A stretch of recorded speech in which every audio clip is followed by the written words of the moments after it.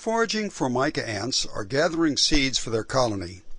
Filaree is blooming and some of the seeds have become ripe for eating. The seed is larger than a single ant, so it is a lot of hard work to pick up a seed, carry it to the depository, and turn it over to another worker ant, who will strip the seed case and take the seed itself into the nest. Colony digs a hole in the ground for their home and set it up with various apartments. One is the nursery where the queen lays all the eggs for the sisters. All the workers are sterile females who are more closely related than identical twins.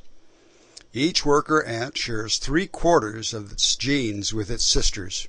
The colony starts when the queen, who has been fertilized by some male ants, flies off and finds a suitable nest site where she lays eggs and lays eggs and lays eggs. The whole colony is designed to service her needs, and to work and die for the good of the colony. Every day when these ants forage, six per cent of them are lost due to fights with neighbors.